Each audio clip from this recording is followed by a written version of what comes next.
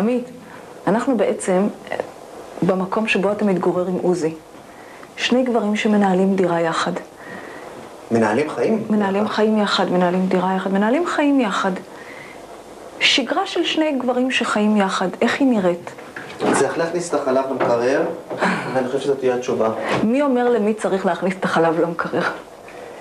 אה, אני חושב שבמקרה של החלב אני אגיד לעוזי. שמן, מרכך כביסה, אבקת כביסה, משחת נעליים, דאודורנט. סירופ בטעם מייפל. זה. הטעם שלך סירופ בטעם? לא, אני אגיד לך, יש פה כתב יד של עמית, ויש פה כתב יד של הגברת שעוש- שמבשלת עבורנו. ואת האוכל היא כותבת מה כדאי לקנות. יש דמות אמהית בבית. יש דמות אמהית, תחליף אמהי אנחנו קוראים לה. מבשלת טוב? היא מבשלת טוב, אני חושב שהיא עושה לנו מה שהיא עושה בבית. ל- לילדים שלה, לבעלה ולכן הלאה. מעבר לזה שהיא מבשלת, היא באמת אה, ממלאת איזה תפקיד של, של אה, אה, דמות נשית שחסרה פה? אילולי או לעוזי היה חסר, חסרה הדמות הנשית, אז לא היינו הומוסקסואלים. בית מסוגנן, הוא יפה, הוא, הוא... יש לו... יש לו קו. מי אחראי על הקו הזה? את שואלת אותי פה שאלה קשה. הרבה אני, הרבה אני. קדימה, אז בוא, בוא תראה לי קצת ספרים, אה, תקליטים, אה, אה, כל מה שאתם אוהבים לגור בתוכו.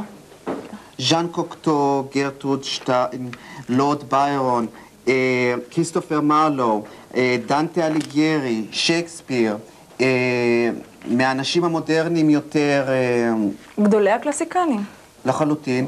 אה, אני חושב שזה דווקא דבר שידוע, שמגדולי הקלקסיקנים היו הומוסקסואלים, שטיין היא אחת הנשים הבודדות פה, הלסביות. מכל הספרייה הזאת, עמית, יש ספר ששניכם נניח חוזרים אליו. עוזי, בוא תצטרף אלינו, עוזי מסתובב שם במטבח, בנעלי בית וסוודר חורפי.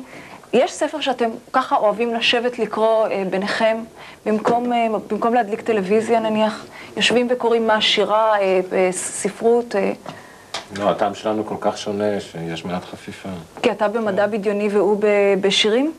מדע בדיוני או לא בדיוני, והוא בשיר. כן, כן. אה, לצערי הרב, קניתי לפני מספר שנים אחד מהספרים שהכי הרשימו אותי, של אנתוני ברג'ס לעוזי. ועוזי לא פתח. ואת יודעת איזה קושי היה לי למצוא אותו, ובסוף הוא אמר שהאותיות קטנות מדי וקשה לו לקרוא את זה. אז הוא יצא באמת- מזה באלגנטיות. כן, הטעם לא, זה שלנו... נכון. אתה הגשת לדיקן האוניברסיטה בקשה להכיר בעמית בתור אה.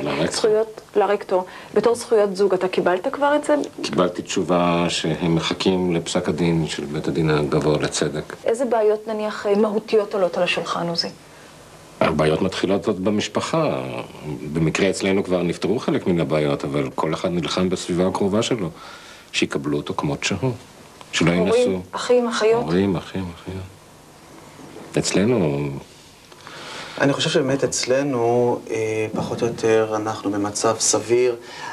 עוזי בן בית ובן משפחה לכל עניין ודבר במשפחה שלי, לצערי אני לא יכול להגיד אותו דבר על המשפחה שלו, אני לא מקובל כבן בית ולא כבן משפחה במשפחה של עוזי. אז אנחנו יכולים להגיד ש-50% מהבעיות שלנו נפתרו לחלוטין. מי, מי במשפחה שלך לא מקבל את עמית, עוזי? אחותי, אחות קרובה לך? אחרי עשר שנים, הייתה, הייתה אדם קרוב? במה היא עוסקת?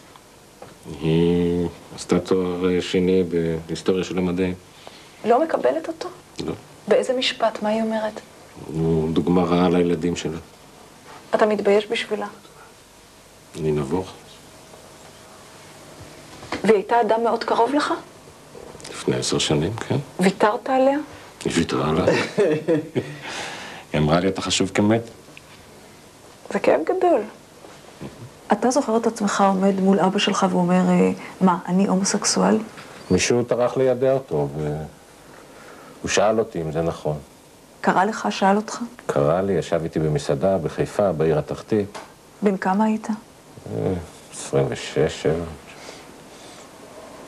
וכשאמרתי שכן, אז הוא לא הבין, הוא, הוא, הוא אמר דבר שיישמע היום גזעני, הוא אמר, איך אתה יכול להיות הומו? אתה לא פושע ולא ערבי. ואחר כך, איזה יחסים היו? יותר הוא לא דיבר איתי אף פעם על הנושא הזה. אף פעם. כאילו לא הייתה שיחה. כאילו לא הייתה שיחה. ומה קרה לאימא שלך שכן... אה, היא שאלה שאלות, היא שאלה שאלות, הרבה שאלות, כן, וענית. בוודאי. היא הרגישה אשמה? או, ודאי. זה השלבים הרגילים, זה... בהתחלה נרפא אותך, נשלח אותך לפסיכיאטר, ועברתי גם את זה. ואחר כך אה, האשמה מאוד, אה, נכשלו בתפקידם כהורים. עד היום, אה, אימא שלי אומרת, כשאני מספר לה על ההישגים שלי במדע, אני רואה שזה לא מעניין אותה, היא אומרת לי, בסדר, מתי תתחתן? איך אתה מציג את עמית? אתם עומדים חבורת פרופסורים, מה אתה אומר? זה המתקמה, בן זוגי. אנשים בולעים רוק? אה, כבר לא, כבר הרבה זמן שלא. באחת, אה, באחת המסיבות הייתה מסיבה של אה, הפקולטה פה בתל אביב, ביום העצמאות, ונכנסתי, והייתי בדלת, וכמובן כל הפרופסורים בני 40, לא 40 אפילו, 55 ומעלה, ואני צעיר מאוד. ואחת הפרופסוריות היותר מכובדות באוניברסיטת תל אביב שלחה אצבע ואמרה, ומי הבחור הצעיר? זה היה ממש בתחילת ההיכרות שלנו, ואני הייתי ירוק ואדום ולבן, וכשהיא קלטה, כנראה כולם הלכו ככה מאחורי הזה, והיא גם כן נהייתה ירוקה ולבנה, זה היה האינצידנט היחידי שאני זוכר שמישהו ככה, זה מאז, אין... אה, אתה נזהר נניח, אה, בגלל המעמד המסוים שלך, לא לגעת יותר מדי בסטודנטים, להיות- לשמור על ודאי. יותר מרחק, כן? ודאי. הרי מסתכלים עליי עכשיו בזכוכית מגדלת. כולנו גדלנו על המודל של גבר ואישה. לא גדלנו על מודל אחר, גם אתם גדלתם על מודל של גבר ואישה. אה, וזה מודל שהוא תמרור בדרך. ובגבר ואישה יש איזושהי חלוקת תפקידים סטריאוטיפית, למרות הפמיניזם וכו'. יש את ההוויה הנשית ויש את ההוויה הגברית. וכשרואים מודל של שני גברים שחיים יחד, אז, אז צצות תכף השאלות הכי בנאליות. אז מי ממלא, מי ממלא את התפקיד של האישה, ולמי יש את הרוך, ומי יותר דואג, ומי יותר חרד, ומי, ו, ואיך זה הולך במיטה, ואיך זה הולך במטבח. אה, אה, תכף עולות השאלות האלה. אז איך זה, איך זה, איך, איך חיים שני גברים יחד? מוצאים את ה, כל אחד את הפינה שלו. אני לא נתקלתי בשום אחת מהבעיות שאת העלית עכשיו. פעם זה ככה ופעם זה ככה. אם צריך להוריד את הזבל, אז אני מוריד את הזבל. אם הוא קם לפניי, אז הוא מוריד את הזבל. להפך, אני חושב, משום שאין חלוקת תפקידים כל כך ברורה, זה הרבה יותר קל אה, כל אחד למצוא את המקום שנוח לו בחיים הזוגיים. אצל הומוסקסואלים, בגלל שכבר אנחנו פרצנו כל כך הרבה סטריאוטיפים, כל כך הרבה כדי לחיות אז אתם- כהומוסקסואל, אני גם יכול להוציא מבפנים את הגרעין הנשי שיש בי. טוב, מי הבכיין? בכיין. אני יותר מאופק ממנו. הרבה יותר מאופק. גם בתגובות הרגשיות כלפי חוץ אני... כשאתם הולכים ברחוב, ובא לכם להתחבק. גבר ואישה, בא להם להתחבק. אני מרגיש לא, לא נוח עם זה. אני... ואני מנסה למנוע את זה. הייתה איזו סיטואציה שנניח שבאופן ספונטני, עמית, חיבקת אותו או נגעת בו? אה, זה כיף שאני, כל פעם שאני חוזר מחוץ לארץ, בשדה התעופה אפשר להתחבק ולהתנשק כמה שרוצים. נכון, בשדה התעופה זה לגיטימי. סיטואציה משפחתית שנגעתם אחד ואז הוא בשני. אוהב גם לבכות קצת, כן? וכן, ו... אז זהו, כל אחד עם הרגשנות שלו. אז למרות שהוא מאופק, ו...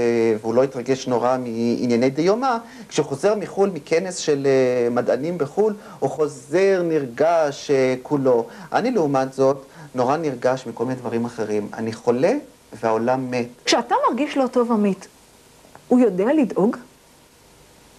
וזאת שאלה קלה, הוא יודע לדאוג, לי יש יותר קושי עם זה. כן? כן.